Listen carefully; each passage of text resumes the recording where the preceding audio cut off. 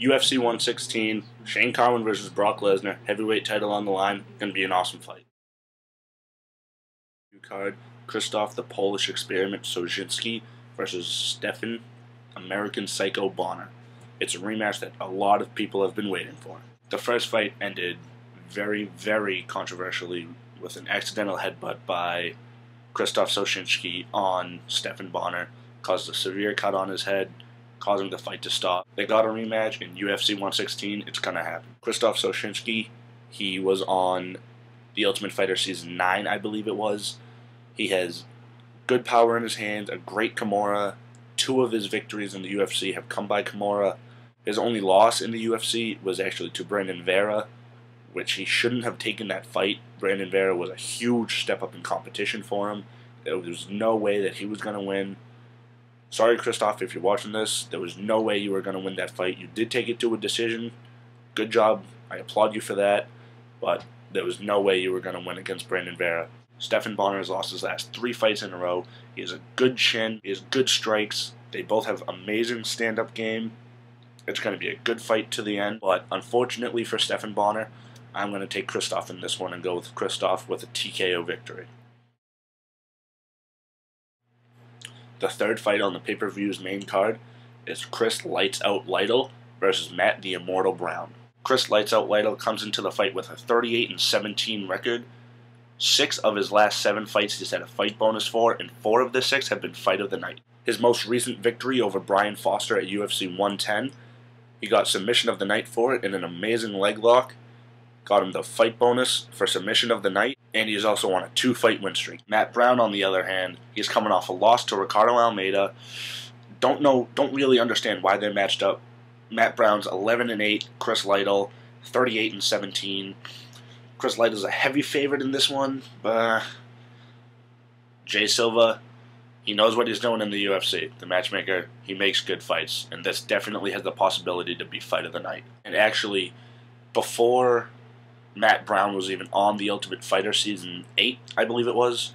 He fought Chris Lytle and lost by a submission. If that's any indication of what UFC 116 is going to bring, then we're going to see another impressive submission victory for Chris Lytle. Fourth fight on UFC 116's main card is Yoshihiro Akiyama versus Chris the Crippler Leben. Yoshihiro Akiyama is coming into this fight coming off a huge victory over Alan Belcher in his UFC debut at UFC 100. I don't know why there hasn't been much so far, but there should be some speculation on if Yoshihiro Akiyama has ring rust or not. It's been over a year since he's last, almost a year since he's last fought, and it's been proven that ring rust can lead to a fighter's demise. Chris Leben, on the other hand, is only coming off two weeks' rest after a huge victory over Aaron Simpson. He looked phenomenal in that fight. Came out no bumps and bruises. Vanderlei Silva got hurt. Joe Silva gave Chris Leben a call Monday morning, asked him to fill in for Vanderlei Silva, gave him an offer he couldn't refuse. He had to take it. Yoshihiro Akiyama was not the biggest fan of the fight at first. He wanted to fight Vanderlei Silva, Vanderlei got hurt. Yoshihiro Akiyama, he hasn't fought in almost a year. If he was going to lay off some more, I don't know where he was going to go after this. The fight with Alan Belcher at UFC 100, that was a very controversial victory. A lot of people thought Alan Belcher won the fight, including myself. Alan Belcher is one of my favorite fighters in the UFC. I thought he should have had that victory, but he didn't get it. And at only his second pro fight was Yoshihiro Akiyama's only loss. He is 13 and 1, so he's on a 12 fight win streak. He's got a lot of momentum running into this fight. Chris Leben, on the other hand, is 20 and 6. I have Chris Leben by he's riding a two fight win streak. He's 12 and 5 in the UFC overall. He just dominated Aaron Simpson, has a great chin. He has knockout power, and he's only coming off a two weeks rest, as I previously mentioned this could possibly be the fight of the night as well. It Chris Leben always goes in to put on a show. Yoshihiro Akiyama, he got the fight of the night nod at UFC 100. If he can go in, put in another amazing showing with Chris Leben, which they're both definitely capable of doing, this could possibly be fight of the night. The UFC 116 main event, Brock Lesnar versus Shane Carwin, is going to be the biggest physical matchup in UFC history. This is the biggest physical matchup in UFC history. Shane Carwin stands at 6 feet 2 inches, weighed in today at 265 pounds, has an 80 inch reach, and wears a 5XL glove. That's bigger than Brock Lesnar's 4XL glove. Brock Lesnar, on the other hand, is 6 foot 3, 265 pounds with an 81 inch reach and 4XL gloves. What he lacks in the size of fists compared to Shane Carwin, he definitely makes up for with the reach advantage. That one inch could be the deciding factor in this fight. Alright, let's talk about the challenger first, Shane Carwin. He is 12 0. All of his victories have been in the first round. Not a single fighter has made it out of the first round with this guy. If you don't know who he is, or if you have not seen him fight, get on it. He is one punch knockout power. He did it to Christian Wellisch, did it to Gabriel Gonzaga. This guy has some serious power. Going into his last fight at UFC 111 with Frank Mir, a lot of people were talking about Shane Carwin's ring rust. It was over a year since he last fought Gabriel Gonzaga. March 7th, 2009 to March 27th, 2010. That's over a year, and he still went in and beat the bag out of Frank Mir. Frank Mir was a bigger, stronger, better Frank Mir than Brock Lesnar has ever faced, and Shane Carwin beat him in a quicker time than Brock Lesnar could in both fights. Shane Carwin also poses the biggest physical threat for Brock Lesnar. And a lot of people talk about how, ooh, Brock Lesnar's first fight was 69 seconds. Yeah? Well, Shane Carwin has five fights under 60 seconds.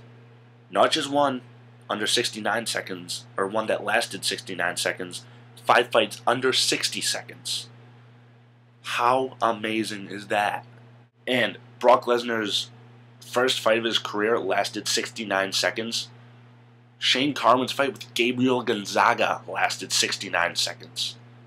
Put those two together, and you know who's going to win this fight. Oh, and the longest fight of Shane Carwin's career lasted 3 minutes and 48 seconds. On to Brock Lesnar. He has won three in a row, two of them which are former champions, one in Randy Couture. Something else that everybody else is talking about going into this fight is that about six months ago, six to eight months ago, Brock Lesnar was diagnosed with an illness in his, in his stomach. He had a hole in his stomach. It took him out of the game for a while. A lot of people are talking about if he's actually 100%, if he's going to be ready to fight. He obviously will be ready to fight since he's fighting. Will it be the Brock Lesnar that fought Frank Mir, or will it be a new, weaker Brock, or even a new, stronger Brock Lesnar? A lot of people don't know what it is. It could have taken from his training. I know he's been training very hard for this fight. He wants to beat Shane Carwin. Also, before he got hurt, he was supposed to fight in November. His last fight was in July of 2009 at UFC 100.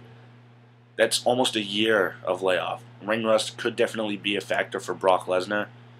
Um, if it is, Shane Carwin's still going to take it, no matter what. Shane Carwin's to win. Brock Lesnar's to bitch about ring rust.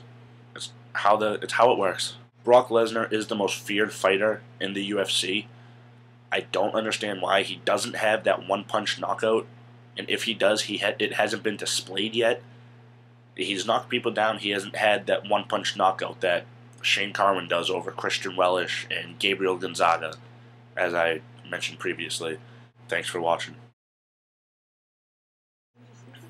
UFC 16. Ah, fuck. So, he is a clean slate right now. Not really clean. Shit. Joe Silva. Ah, I screwed it up earlier. I said Jay Silva earlier. Joe Silva. I'm sorry. UFC matchmaker. It's Joe Silva, not Jay Silva. Son of a bitch. March 7th, March 7th, 2009 to March 20, no, March 27th, March 27th, March 27th, 2009 to March 7th, 2010. That is, no, March, hate to say it, Shane Carwin's going to knock, actually, no, I don't hate to say it. Shane Carwin's going to knock Brock Lesnar out first round.